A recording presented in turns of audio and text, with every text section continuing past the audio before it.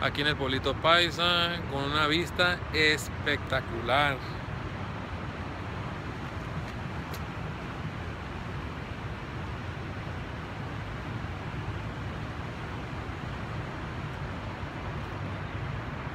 Esto solamente en Medellín. Esto solamente en Medellín. Ni en Pereira se ve así.